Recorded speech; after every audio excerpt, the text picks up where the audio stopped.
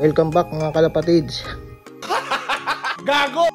Takmana! You know, so welcome back mga idol. So for today's video guys is aalamin natin guys naman ngayon yung mga sikretong malupit ni Idol X Machina. At higit sa lahat mga idol, aalamin natin kung saan ba talaga nanggaling yung sikat na sikat na linyada ni Idol X Machina na Jackson Relax. So maraming Pilipino fancier sa USA ang gustong malaman kung saan pa talaga nag-originate yung Johnson Relax ni Idol X Machina. So malalaman nyo na yan dito sa video na to mga idol. So by the way guys, nandito tayo sa bahay ng pinsan ko sa Pasay. So dito talaga tayo nag stay pagka nandito tayo sa Manila, pagka wala tayo sa Jensan. Alright? So ano pang iniintay natin mga idol? Tara let's bagets, alamin na natin kung saan ba talaga nanggaling yung Johnson Relax ni Idol X Machina. Let's go!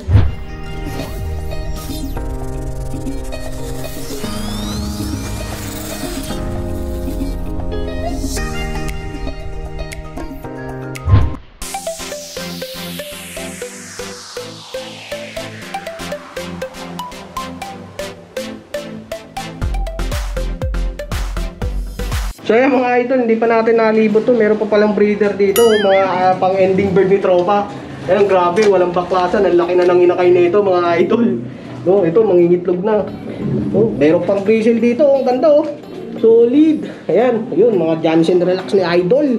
Kakawalay lang niya yata to eh. Fully book ang kulungan ni Idol, solid. No? Mga pang-ending, mga 10 taon na walang baklasan. Mga trophy pa si Idol to, no? Kita niya, mga trophy ni Idol X Machina. Ayan, papatuka si Idol. Oh, ito trope pa ko ako. Ayun oh, steak at pizza mga idol. So ayan. Made in Philippines. Sa local pizza tayo mga tropa. Ayun, no? Oh, yeah. Kita Ah, maraming tropa sa US na magkakakalapate. Ito ito yung sistema natin, iba naman. Kung mapapansin nyo, yung breederan natin yan, open, open. Sa inyo kahoy, di ba? Kahoy, oh. Kasi alam ko malamig. Depende kasi sa klima eh. Lima. Mm, kahit sa ibon, ganun. Mm. Di ba, sa US ka kakarera, kumuha ka rin sa US. Kasi Mm. yung mga ibon doon, naka-develop na para sa laro doon. Kasi alam ko sa US, pabilisan, di ba? Mm. Pag ibon mo doon, pang long distance, iiyak. Oo. Kailangan ibon mo matulin kung makain ng speed. Oo. Ganun ang hinahanap doon. Alam ko, alam ko ganun ha, kasi may mga tropa na rin tayong mga taga-US na nakakwentuhan noon na ganun nga daw ang labanan. Mm. So yung mga ibon dito sa Philippines, hindi uubra sa US. Pag doon kinarera ha, ganon. Oh, yan, mga tropa, sa mga tropa, hindi basta-basta pwedeng magkarera ka kayo ng magaling sa US. Tapos, aasahan nyo na magaling din ang ipe-perform dito sa ah, Pilipinas. Pwede, Kasi, pwede, pwede rin naman yon i-develop mo. Ah, para magtugma siya sa klima dito. Tulad yung tiyatanong nyo sa akin, yung ano ba yung tiyatanong line sa akin? ano bang linyada ng iyong signature na Jansen Relax? Ay, Janssen Relax, yun yung ano, direct, yung magulang ng Janssen Relax ko, ano yun, island born na dito yun eh. Both parents niya, parehas made in USA, important talaga. Kaya Janssen Relax kasi si Dan Severn ng USA, patay na siya eh, ah, sumalangit nawa kay Idol. So ayan, Ah, pinarating yung dalawang magulang ng Janssen Relax ko, Hen and Cock. Pare sila 600 miles finisher ni Dan Severn. Ang pangalan ng lock niya ay Relax Lock. Kaya tawag doon sa Janssen, kasi mga Janssen sila eh. Sa pedigree ka Janssen, eh, Jan, Relax Lock. So, ang tawag namin, Janssen Relax. Kasi, relax loop eh. Tapos Janssen pa. Hindi ko na alam kung anong klase Janssen yun. May sira ulo ko pag inalam ko pa yun. Kasi Janssen, marami yun. Maraming klase yun eh. So, kung sino yung pinaka may-ari, yun na yun, si Relax Loop. So, Janssen Relax. Kaya ang Janssen Relax, legit po yan, hindi ko ginawa yan. Talagang yun talaga yung tawag sa ibong yan sa lahi niya. So, ano siya, pure siya na authentic. Parehas magulang, may-ari si Relax Loop, si Dan Severn. Oh. Kaya pure Dan Sevenberg, pure Janssen Relax. Ayun. Kaya sinabi pure. Pero sa dugo niya, hindi natin alam kung magkaano-ano yung ibong yun. Basta parehas silang Janssen. Ayan. So, ang maganda doon, ah, 600 miles finisher sila sa USA. Hindi ko alam kung nanalo sila doon o ano. Pinadala sila dito ni Tropa ah, Nelson El Garrico. Ayan. Ah, tropa rin natin yan, Pinoy, taga-US. Ah, nabili ng tropa dito, sa kanya, pinarating. Tapos, nakakuha ko doon sa tropa ng anak. Napa-overall muna yon yung kapatid nitong nakuha ko bago kukunin to. Nakita ko nag-overall dito, Norton Tuling, kumakain ng speed. Galing ka ako, Johnson, relax. Kaso, nakulangan ako, pag tawid dagat, medyo nag-aalangan siya. Ginawa ko sa kanya, dinevelop ko siya. Pinarison ko ng ano, kalapating pagungang speed. yung mga pangkunatan lang, yung mabagal, yung laging ano, yung pakatop na kung umuwi. Oo. Kasi yung Janssen Relax, sumakain talaga ng speed dyan. Problema, pag malalayo na, alam naman natin, pagka mabilis ang ibon, pag sa laban at tumawid na ng dagat, medyo nininervis na yan. so, nilagyan ko siya ng mabagal, pinasukan ko. Ako na nag-develop. Kaya Janssen Relax sa atin, tumatawid na ng dagat ngayon. Yo! Kaso, bumagal. bumagal, naging kung ano na lang siya, para consistent. Consistent. Kumbaga, ang laro ng ibon, di ba, galing nga sa US, mat- matulin siya. Ah, matidevelop po naman yan pagdating dito. Bakit hindi, di ba? Nasa discarding mo na yon. Yung sa pagbe-blend ng bloodline, kung ano yung laro ng ibon na gusto mo magagawa mo. Kaso uubos ka ng panahon, taon ang bibilangin mo. Kailangan mong kumarera regular para matukoy mo kung ano yung gusto mo lipad ng ibon. Yun o, nakakuha tayo ng istorya nung Jansen Relax ni Idol X Para Makina. mas maganda, ipapakita ko yung sample ng Janssen Relax na Ayun, yun, may jam sample ka tayo mga idol. Ito talaga authentic na itsura ng Johnson Relax. Ito, apo na lang to ng original Johnson Relax. Yung talagang, yung nanay nito nandun nakakulong eh. Hirapan akong kunin eh. Ayun, Pero dahil ganito rin naman itsura nun. Ito, anak niya to. Ayan, na-develop ko na siya. Yung orig na Johnson Relax, mga tuwid ang buntot. Talagang pan tailwind lang sila. Ito medyo bumahag ng konti, kumunat. Tapos ayun, no. Kasi yung yung pinang-develop ko dito, yung makunat na hipo talaga, yung mga mababalikat, yung mga medyo bangkain. Yung mga Johnson Relax talaga mga bilugan sila. Ginawa ko medyo bangkain. Tapos ayan no. Yung mga pekpekes na pakpak nila, ayan no, parang naging spade na yung mga korte oh. Ayun o. Mm, Minana yan dun sa pinang-infuse ko sa Johnson Relax. Ayun. Yun, naghalo yung ano nila. Naghalo yung itsura nila, yung body build nila, pati yung lipad nila. So, ganun sa pag-iibon. Para sa akin ha, kasi iba-iba yung paniniwala natin. Hindi ko sinasabing tama yung ginawa ko. Pero sa experience ko, parang ganun na nga. so, kanya-kanya kasing style yan ng fancier. Hindi natin mano iba. Iba rin yung paniniwala. Ako kasi, ito na yung nakagawian ko. Kaya, sa awa ng Diyos, yun, lamang ang gulong. o, di ba? okay na ha?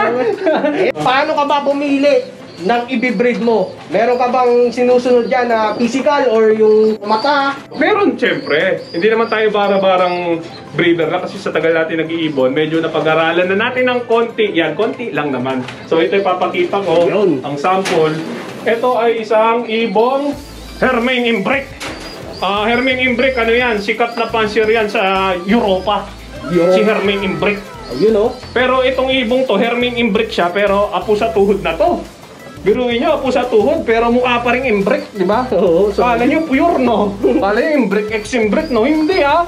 Ano to? Makina ex-imbric. Ayun o. ano na lang to? Apo sa Ako sa tuhod. tuhod. Kita nyo na-develop. Kung hindi ganito yung urig na imbric na napunta sa akin, iba ang hipo nun. Kita nyo naman naging ano, hipo ngayon, lagi letter C na. Kasi ganito talaga yung mga pang Barcelona na hipo na gusto ko. Wow! Sana all! Pala yun. O yan o. Para sa akin, ganito yung mga mauunat kasi dito sa Pilipinas, mga tropa, sa totoo lang, hindi namin kailangan ng matulin na ibon.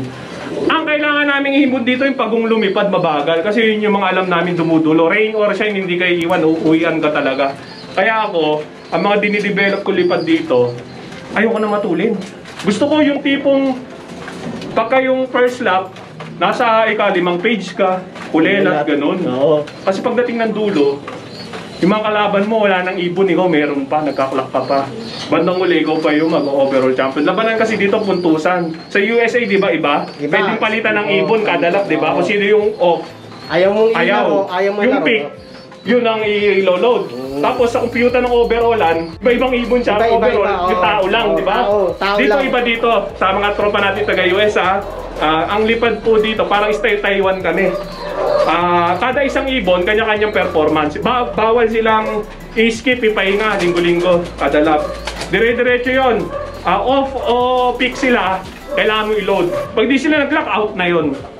So, ang natitirang ibon, yung mga full clocking. Kasi, south 6 laps kami, ganun. Naga to Tacloban. Matira matibay. Matira matibay. Mm. Mag-start kami 5,000 birds. Matitira doon sa Tacloban. Swerte na may 5-10 full clocker.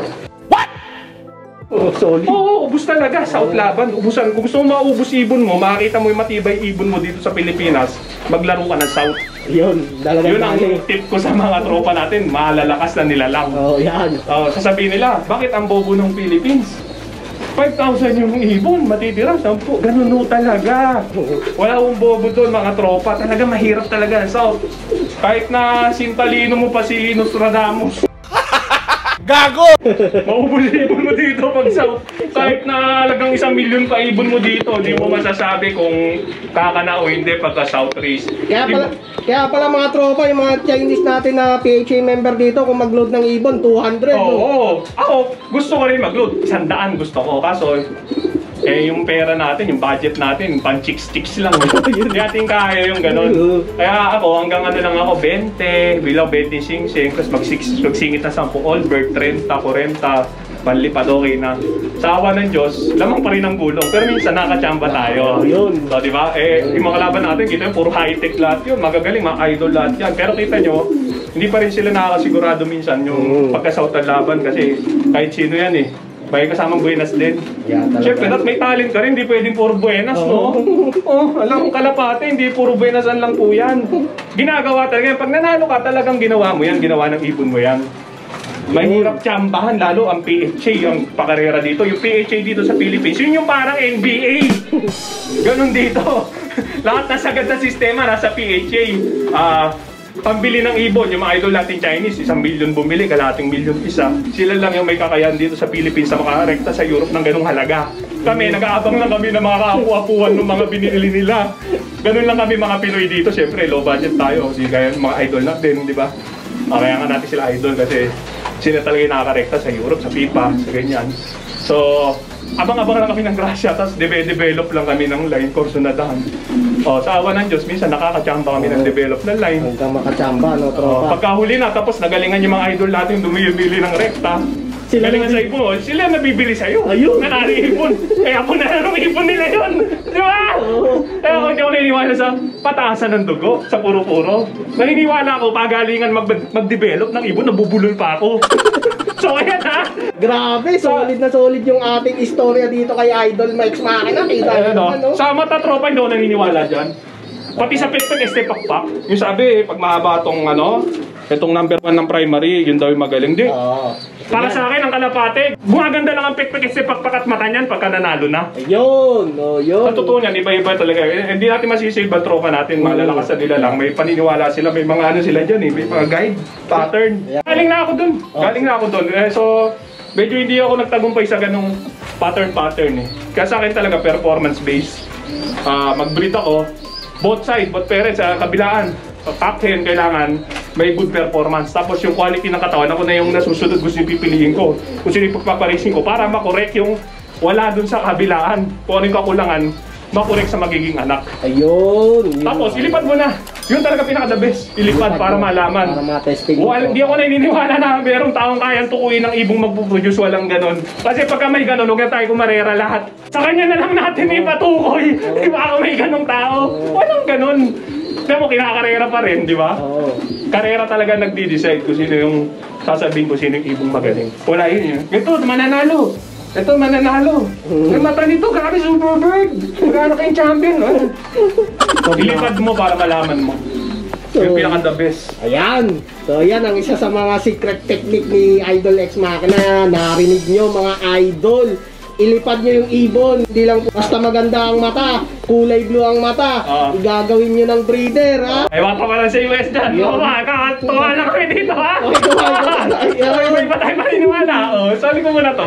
Ito, tropa, pampasira ng ulo. Oh, yan. Puro lumot. Oh. Akala ng mga tropa natin may inang nilang, niloloko sila. Hindi talaga ako naglilinis ito sa bahay nga, hindi ako nagugus ang pinggan eh.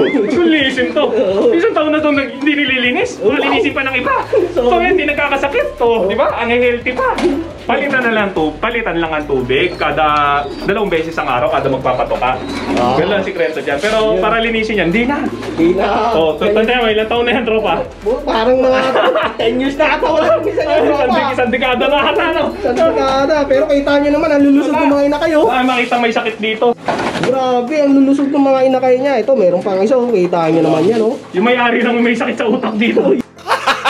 Gago! Hindi, katwiran dito mga tropa, may nilulumot kasi Di ba nung araw yung mga lola at lola nyo, ang inumin sa mga bahay eh banga? Nilulumot yung loob nun.